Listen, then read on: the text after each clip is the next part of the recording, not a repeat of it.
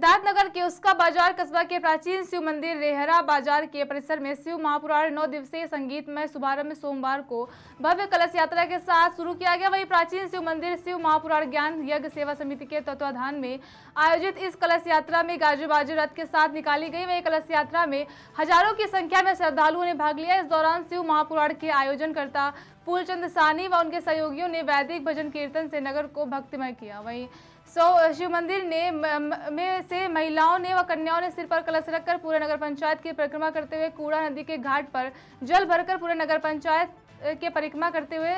परिक्रमा की वहीं शिव मंदिर के में स्थित प्रांगण में कलश स्थल पर कलश को स्थापित कर यात्रा का समापन किया गया वहीं शिव मंदिर कलश यात्रा में अपार जनसमूह के रूप में देखने को मिला इस कलश यात्रा के दौरान थानाध्यक्ष उसका बाजार दिनेश कुमार सरोज के द्वारा पुलिस बल चप्पे चप्पे पर तैनात किया गया